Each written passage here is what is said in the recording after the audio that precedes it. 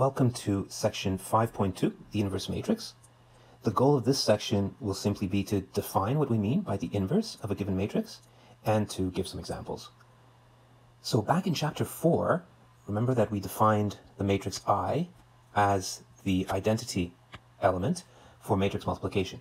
So that's a matrix that has the same role as the number 1 for real numbers, right? Which means, well, we expect that when we multiply A times I, we'll get A, and if I multiply i times any matrix A, that'll also give me A. And notice here the i is not necessarily the same size, depending on whether it's on the left or on the right, if A is not a square matrix. So since i has the same role as the number 1, then we expect or we feel it's reasonable to say that uh, whatever the inverse matrix A is, when we multiply by A, we expect to get I, and same thing on the other side. Actually, here there's a little mistake in my notes. If there is also in your notes, then please correct it.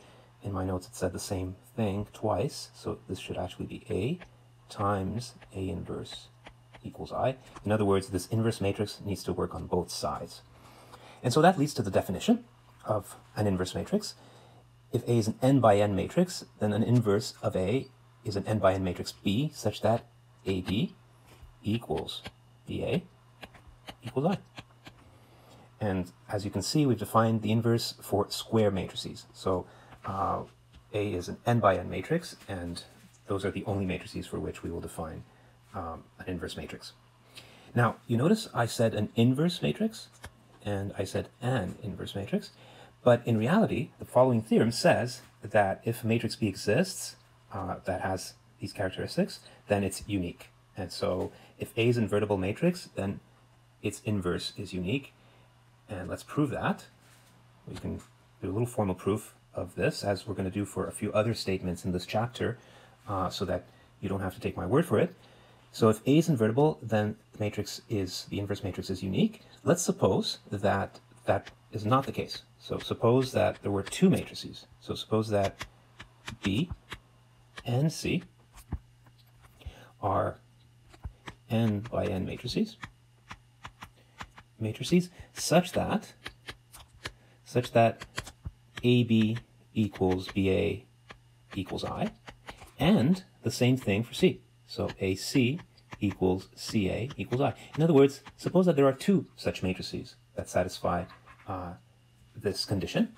Well, in that case, let's write AB equals I, and since um, we have another matrix C, then let's multiply both sides of this equation by c. And so I'll have c times ab and c times i on this side. Whatever you do to the left, you do to the right. Now we know that matrix multiplication is associative, so I'm just going to move these brackets here. CAB equals c times i, but of course c times i is just c. And as you can see, we said in our premise, suppose that CA equals i. In other words, I can replace CA here with i, times b equals c, which of course just leads to b equals c. And so what does this mean? Well, simply that if you suppose there are two matrices that satisfy these conditions, well, it actually turns out that it has to be the same matrix. And so we could add here the conclusion that the inverse inverse of A is unique. And we just proved that. And so since that inverse is unique, then we don't need to say an inverse, but the inverse. And we're going to introduce a little bit of notation. We'll say that uh, if B is the matrix that satisfies this condition, then B is the inverse of A. So we write B equals A inverse, and as I pointed out here, you read this as A inverse. So we point that out here, that this is A inverse, or you could simply say the inverse of A for that notation, but careful, and I'll point it out here, we don't uh, consider the minus one an exponent here, so we don't have this, right? This notation does not exist, not true. Okay, so this notation um, is, in fact, I'll simply say a not equal to 1 over a. Okay, um, here we could probably a simpler way of saying this is to simply say A inverse is not equal to 1 over A, and there's no such notation. So let's just see right away an example. of an inverse matrix. So notice here we're given uh, matrix A, 1, 2, 0, 1, and we're asked to check that A is invertible by applying the definition. What does that mean? Well, simply that we have to show that AB will equal I. And so AB is 1, 2, 0, 1 times 1 minus 2, 0, 1. So matrix multiplication, by now I think we pretty much have the hang of this.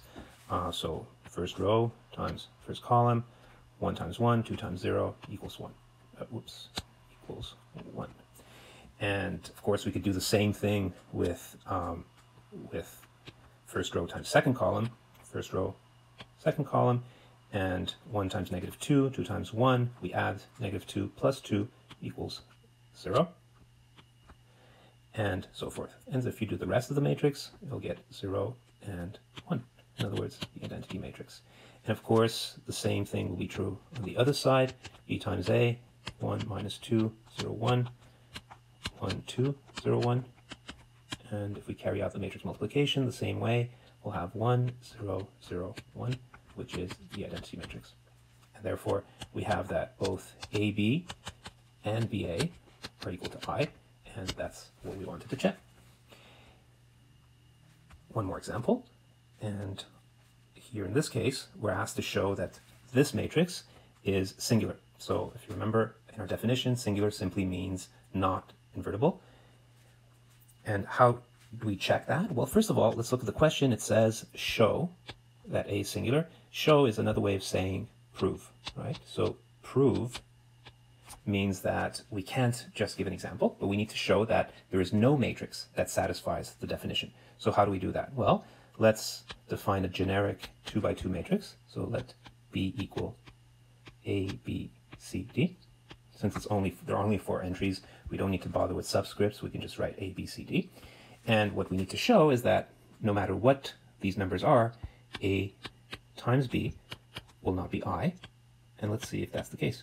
1, 2, 0, 0 times A, B, C, D. Let's carry out the multiplication.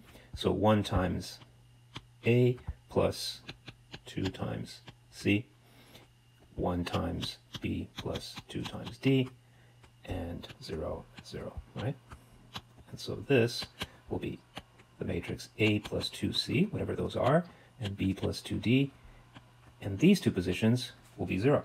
But of course that means that this entry, right, this entry cannot be, is not equal to 1. And if that entry is not equal to 1, then no matter what these values of A, B, C, and D are, this cannot be equal to 1, 0, 0, 1. In other words, it cannot be equal to the identity matrix. Okay? And therefore, our conclusion is that uh, there is no matrix.